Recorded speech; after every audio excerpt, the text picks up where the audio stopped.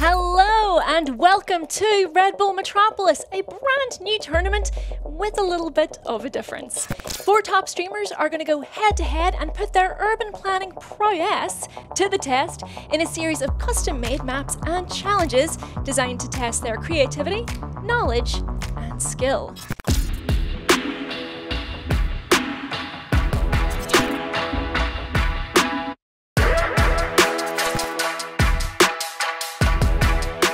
RT has managed to flood his city Oh. three minutes into the competition.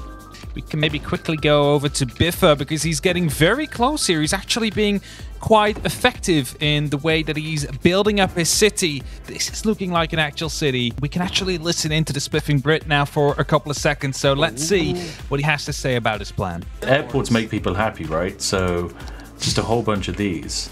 Have you ever sense, been to surely. Heathrow? That place does not make me happy. What do you an want airport. about? I think a lot of things work with Quill is about you know measuring 17 times and then cutting once. He's very focused. I mean, this is He's competitive city skylines on the highest level. Looks like Spiffing and RT are going for the uh, maximizing airport strategy, whereas Biffa is giving his best with his quadrants, and so far it's looking pretty good. It seems like Oh. Biffa has it all sorted. It seems like he might be able to run away with four points here. Would you want to live in a city that was built up in 30 minutes, though? I, I, don't- I don't know. I don't think I don't think I want to. This, this will stop any waves from coming in for sure. He, he probably saw I the mean- tsunami and he's like, I don't want this to happen to me. I'm building a wall. Uh oh, and it's tsunami time! No, it's coming That is over. man-made. That is man-made. This is like an iSARS Productions video here. It's it's all going to hell. There it is. We have our first 30 minutes done, and not gonna lie, a lot of really unexpected things happening with us uh, Yes. today. And Biffa with four points, three points for the Spiffing Brit, two for RT Game, and one for Quill. 18. I mean, look, those tsunamis were so upsetting, but I gotta say, as someone who lives pretty much underneath the flight path of Heathrow, I found those airports absolutely horrifying. It is on to our next challenge, round two of Red Bull Metropolis, the seat of learning.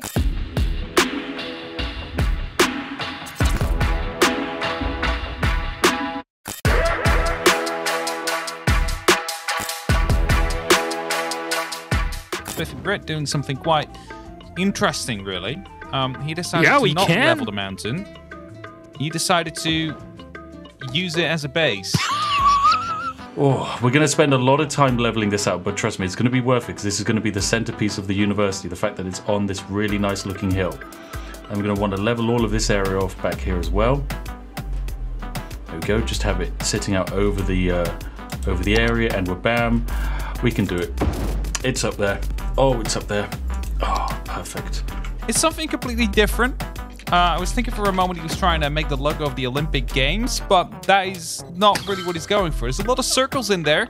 very philosophical from Biffa to really bring us such depth and detail to his build today. Let's go over to Quill, shall we? He's currently on the bottom of the leaderboard, so has an opportunity to try and fight back. And It looks like he's going for a classic way of doing things, integration in some old North American cities. Look at those pretty lines that are going through the little forest around the campus. Look at making it that. Look at that here. attention to detail.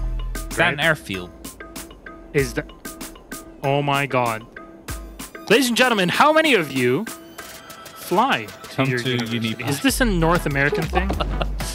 Interesting school. it's gonna be a crap It's a freshwater outlet. Okay, bro, don't worry about it. Is is it is it a freshwater outlet? Oh, some nice some nice trees at least to uh, to cover up the smell. Here is the Spiffing Brits town, which, not gonna lie, there is a canyon going through the middle of it. RT game has a pretty decent looking arts campus. It's pretty impressive, not gonna lie. He's flooding his city at the last very final option. You see all that water going over? That is definitely not looking good. No, Oh, he's gonna make extra no. lake. There's no way that this is stopping.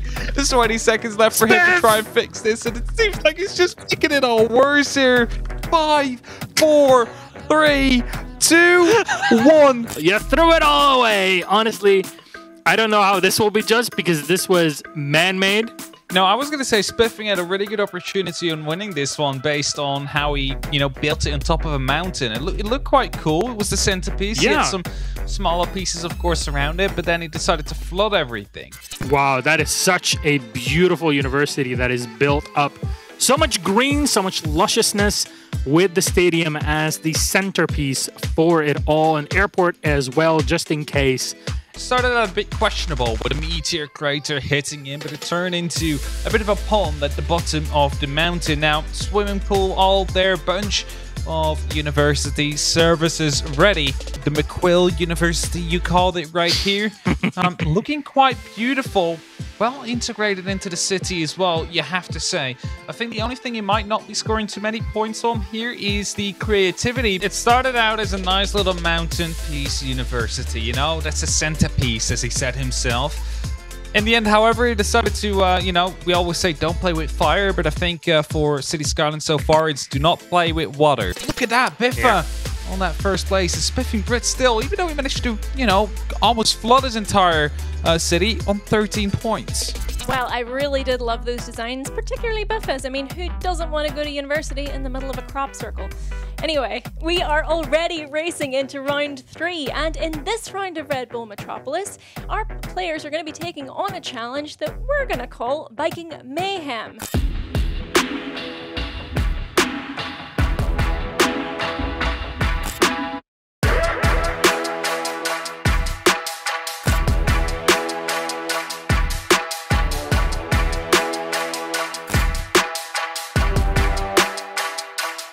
We are watching RT game, and, and the first thing that happened, apparently, when he managed to find out what the uh, challenge was, is he looked up for a quick guide, and the first one that popped up was Biffas. So uh, it's gonna it's gonna be interesting to see if the student beats the master. I think I'm seeing some elevated bike lanes that he's currently using to run right next to that main road. Spiffing Brit is. Um, working on a disaster. He currently has 26,000 people left living there. He lost a lot of people. Is this an exploit gone wrong? It's all about bikes, all about lanes, and Quill has decided to up the ante. He will build his own system, his own road network that already has all of this into it. Go! What has go! he done? RT game! What? Was hast What du gemacht? done?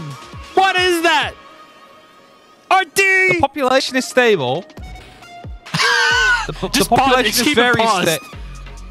Keep it I that would be the that would be the best way to make sure the population doesn't die. But the population seems to be quite happy with the current situation they live in. Four points to the winner, one to the loser. Uh, a bit of a penalty, you know, 50% of your points taken away if you had a more than 5% population loss. Let's go over to the city view. It's RT Games. We're heading into first. The man who managed to flood parts of the city, build it into a mountain, Quill 18 with his beautiful bike that has been built up. He- He's 1600 had total, pretty much. 1,569. Yeah, something around that. To the Spiffing Brit who managed to get, and I surprise you not, 1,738 cyclists. Wow! It's Biffa who currently stands at 2,129 cyclists in total. The points have been put in. Biffa on number one. Quill is currently overtaking him on 16 points. And then we have Spiffing Brit currently in third place with 15 points. On to challenge four. It's going to ask our players to use their skill, creativity, and knowledge of city skylines to optimize the road network in a busy city at a standstill.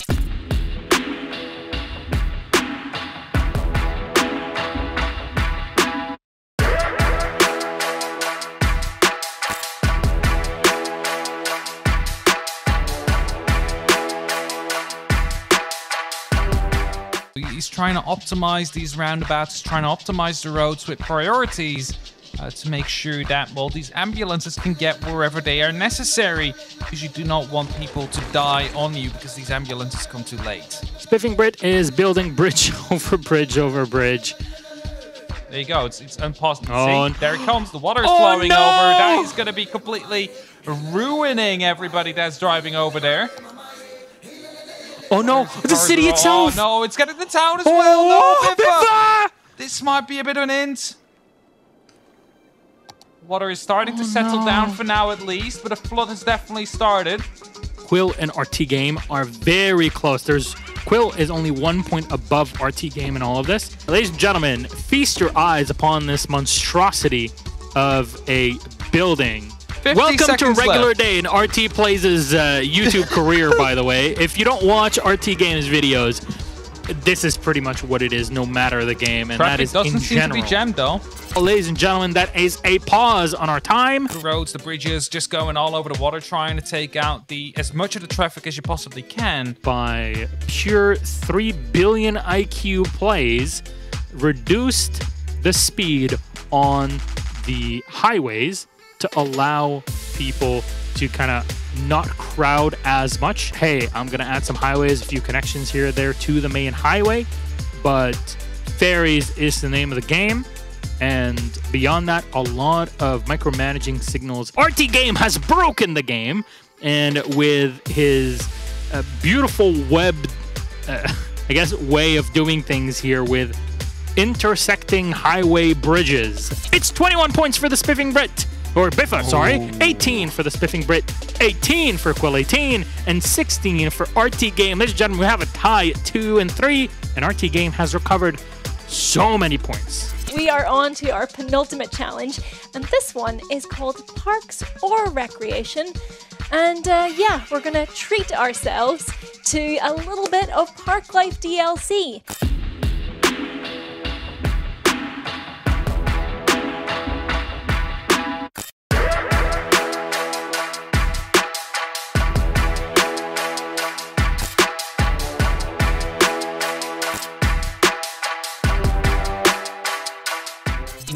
Say a meteor is unplanned for in your uh, city, you know, city planning issue, stuff like that. In the case of RT Game, those will definitely be planned for. It's just a matter of time now until they strike. Meteor. That's fine. It's fine. We just work with the meteors.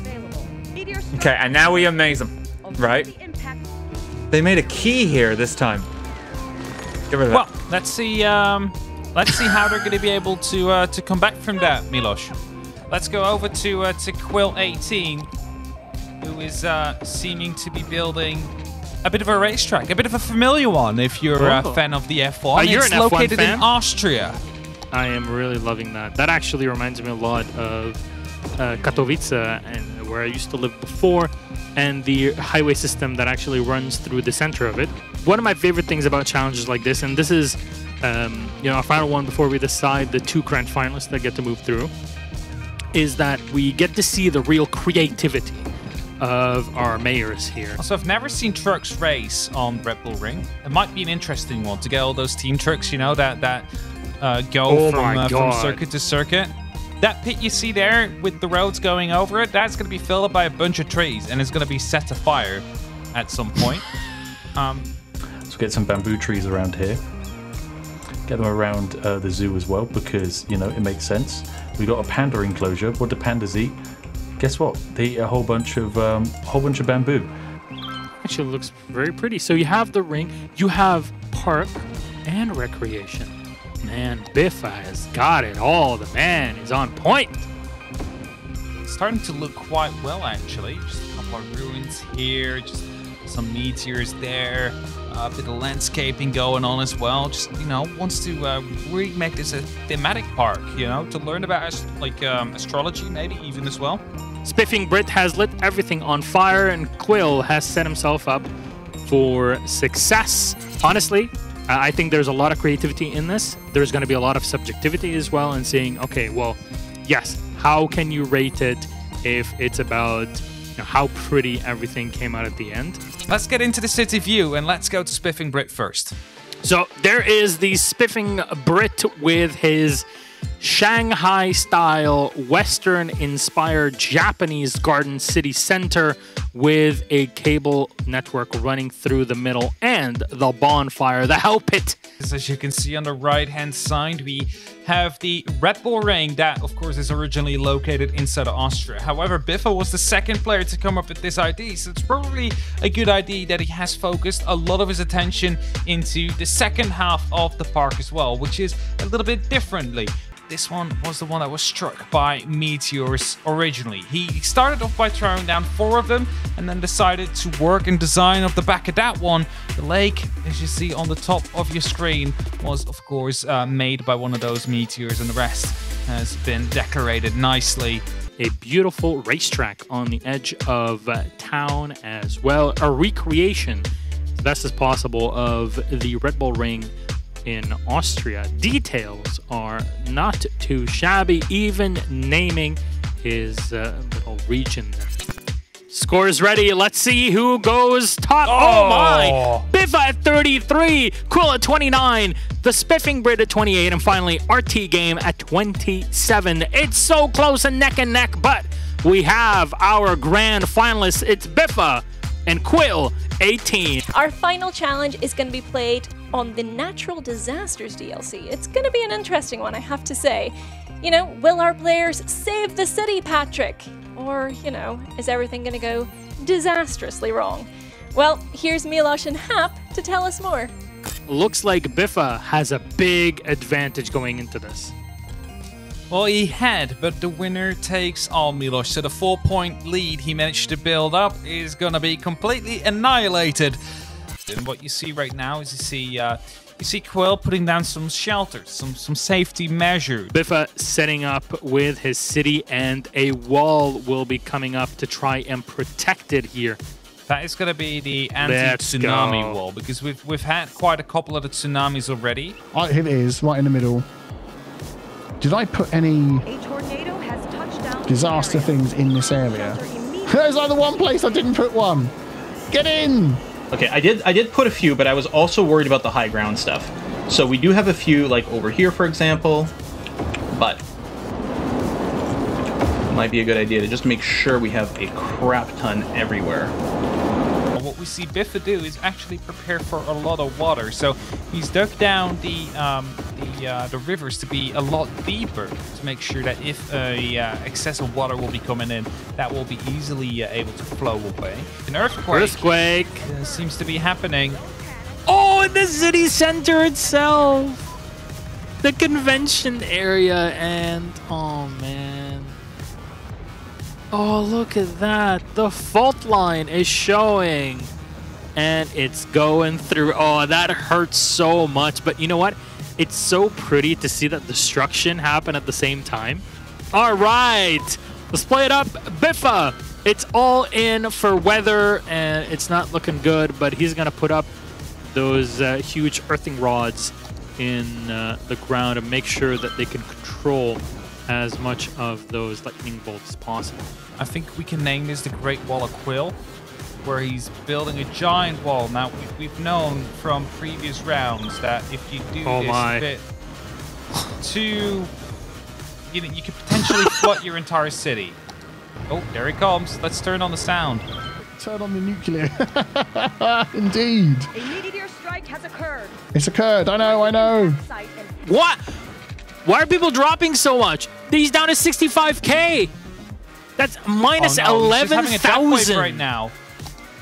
He's having a death oh wave my, coming death through. Wave. Minus 12,000. That is something we haven't imagined yet. And where is it coming from? There's a minute left on the One clock. One minute left. It, they are neck and neck. A thousand separating the two. But Quill has rebuilt so quickly over the past few minutes. They're so focused here to get all of this together here.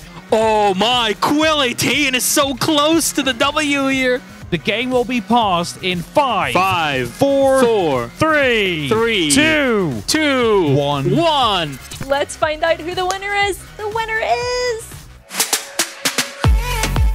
Oh, Biffa, let's go! Yay! But congratulations. And I've got the winner and runner up right here, right now. Congratulations to both of you because that was an amazing competition. Oh, one point in it as well, Quill. That is fantastic. Well done. I love the game but I know how good these guys are. And I mean, obviously, Biffa. I thought the competition was always going to be who was going to come in second to Biffa. What are your top tips for success? Practice a load. I mean, that's the thing. I had all these different ideas for some of these challenges. I'm gonna, I want to try this. I want to try that, and it does all go to pot when the pressure's on, uh, trying to do everything quickly. But I mean, if you want to do challenges like this yourself, I mean, I've done similar things than before uh, on my YouTube channel, and my viewers were doing the challenges, sending them in to me, and it's a fantastic community event, and people love watching it, obviously. All that remains is to thank our players. Thanks to everyone watching today. Um, and thank you so much to the event organizer, Red Bull, for putting this all together. Thank you so much for watching. We'll see you next time. Bye.